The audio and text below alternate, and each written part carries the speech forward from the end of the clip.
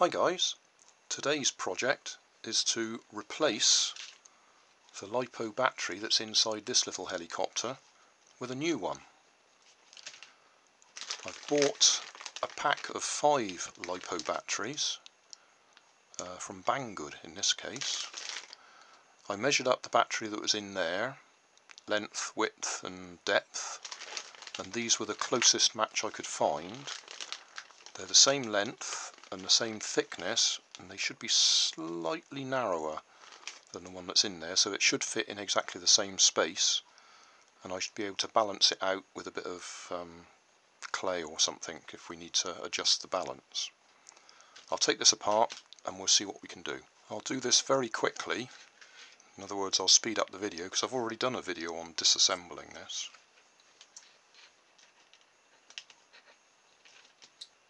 Hopefully you can see that the batteries are different sizes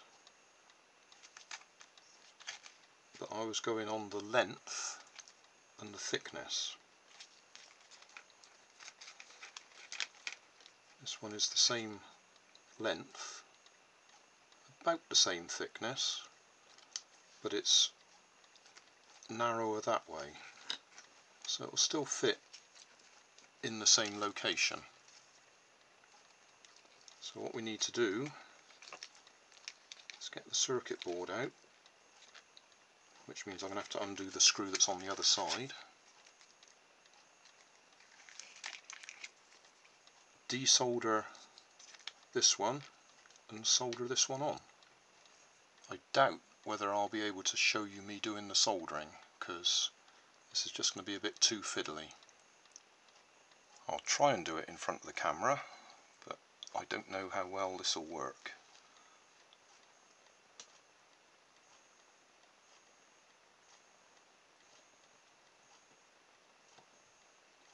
I don't know. I can't get in there.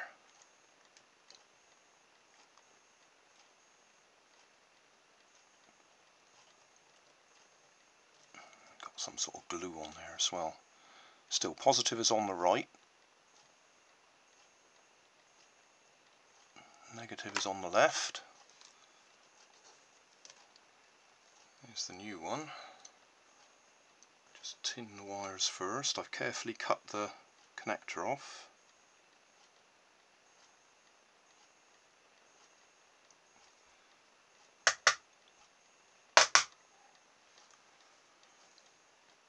Alright, I want to try and get that muck out the way first.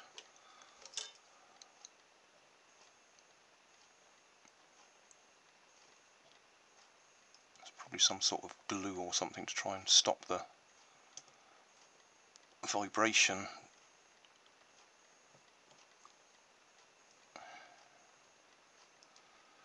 Okay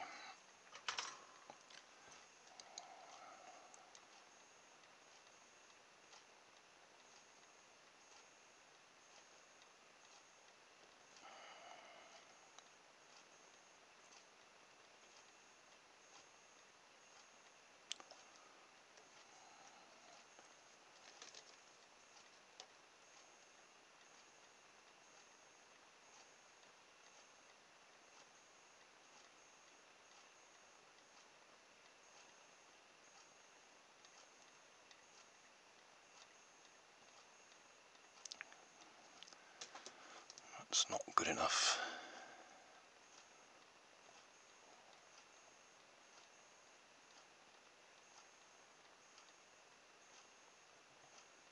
Soldering iron's much too big. I'll let it cool down a second. Although that seems to have done the job.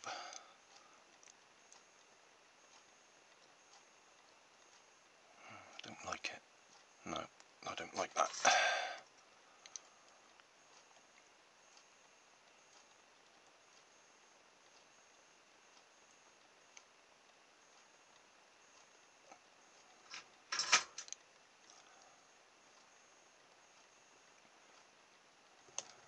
Don't know if there's any power in there. Yeah, got power in there. Okay, we'll try and put it back together. All back together. I haven't charged it yet. There's obviously a little bit of charge in there.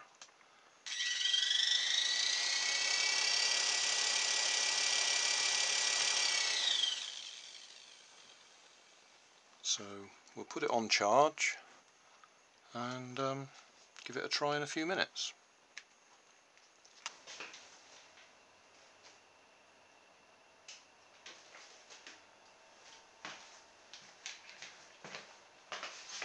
Fully charged, will it lift off the ground?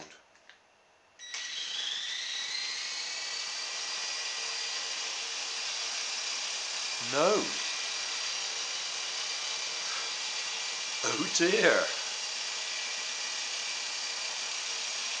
So we've changed the battery and we're no better off.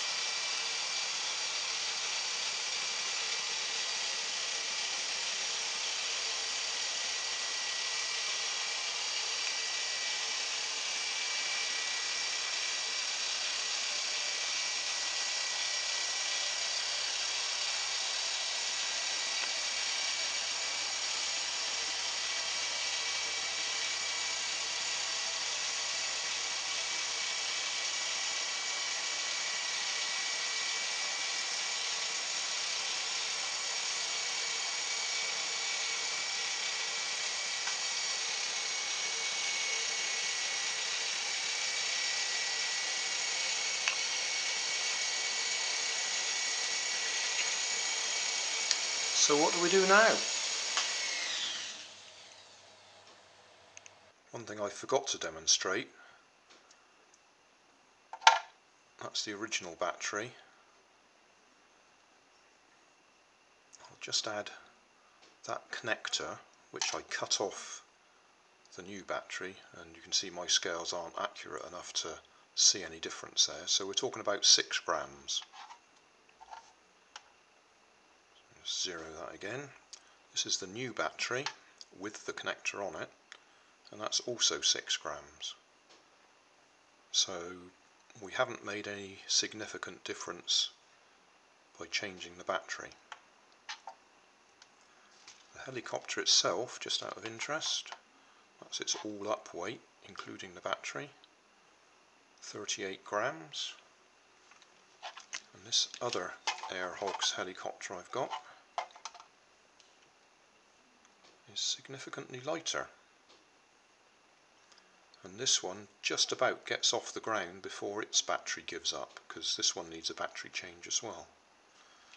But that's interesting to note that that one is a lot heavier. Summary? Disappointing obviously. Now I don't know whether that controller is sending the right signal to that helicopter because it's not the original controller. So it's vaguely possible that when we're giving it full throttle on there it's not sending the right signal through to the controller to give it full throttle on there. Because changing the battery has made absolutely no difference. We're getting the same sort of performance with the new battery fully charged as it is there that we were with the old battery. And I have checked the old battery and it seems fine but you can't really tell until you put a load on it. So that's it really. I don't know what else we can do short of getting a new controller which is going to cost even more money But all we can do at the moment is watch it bounce around on the floor.